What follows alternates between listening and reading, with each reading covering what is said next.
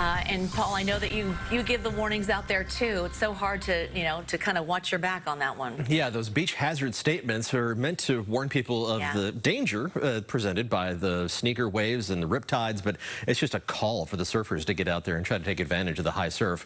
It's not going to be as high tomorrow. Let's take a look at the forecast for Pacifica. If you're going to be heading out to Linda Mar Beach, three to four foot swells as opposed to those higher ones we had today. The winds are going to be light out of the north and northwest. The water temperature is 54 degrees. The air temperature is only going to be a few degrees warmer than that.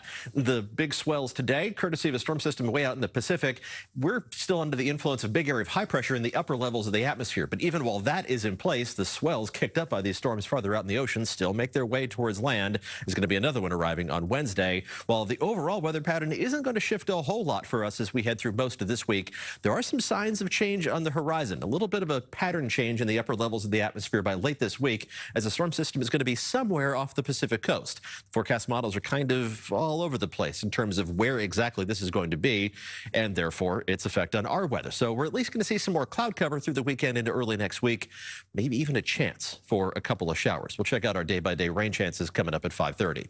In the short term, we're going to have the offshore winds kicking in tomorrow. They're not going to be as strong as what we had Friday and Saturday last week.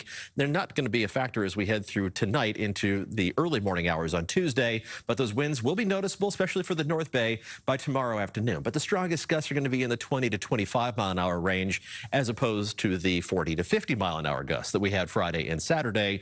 And the winds are going to relax once the sun goes down tomorrow evening.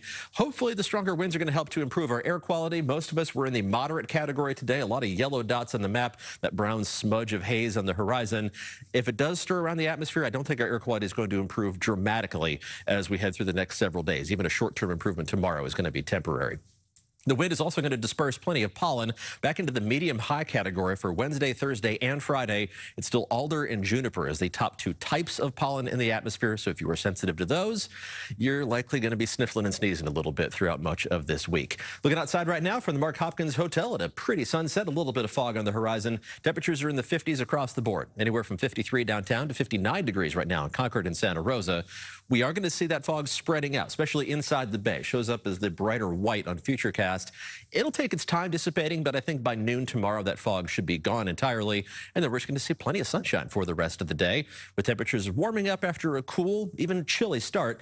Most of us in the low to mid 40s, but there are going to be a few spots dipping down into the upper 30s by early Tuesday morning, and then high temperatures once the fog dissipates. We're only going to be a degree or two above average around the bay, but with the offshore winds kicking in, four or five degrees above average farther inland. Zoom in for a closer look. Along the coast, upper 50s for highs. That's not bad for late January. January, right around 60 degrees around the south end of the bay, but farther into the 60s, mid 60s for San Jose and most of the Santa Clara Valley. Mostly low 60s inland in the East Bay. Temperatures around the bay, a mix of upper 50s and low 60s, right around 60 degrees. With the North Bay warming up, that offshore wind helps your temperatures jump up into the upper half of the 60s in a lot of locations. Same thing for inland Mendocino County and Lake County. Temperatures don't change much over the next several days. We'll see plenty of sunshine after the morning fog dissipates.